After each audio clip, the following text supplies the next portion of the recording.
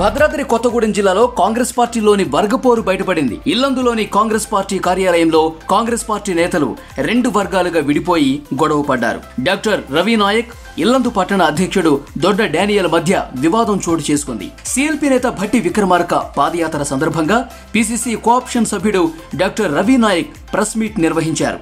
అయితే తనకు తెలియకుండా ప్రెస్ మీట్ ఎందుకు పెట్టావంటూ గొడవకు దిగాడు కాంగ్రెస్ పట్టణ అధ్యక్షులు దొడ్డ డానియల్. దీంతో పార్టీ ఆఫీసులోనే ఒకరినొకరు నెట్టేసుకోవడంతో కాసేపు ఉద్రిక్తత ఏర్పడింది. ఈ నెల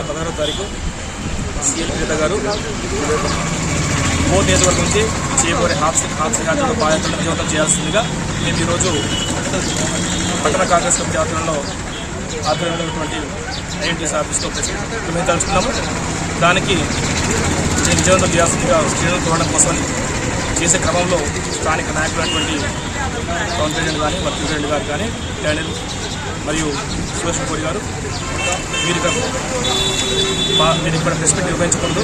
మీరు బయటకు వెళ్ళిపోవాలని చెప్పేసి మా యొక్క కార్యకర్తలతో ఆశ్రయంతో వాళ్ళు వాగ్వాదానికి పాల్పడము వాళ్ళు ఎట్టివేయడము దాంతోపాటు స్థానిక పార్టీకే మిత్రులను కూడా నిర్దాక్షణంగా బయటకి వెళ్ళిపోవాలని చెప్పేసి వాళ్ళని ఎక్కడ కూడా మీరు విశ్వాసం చూస్తుంటారు.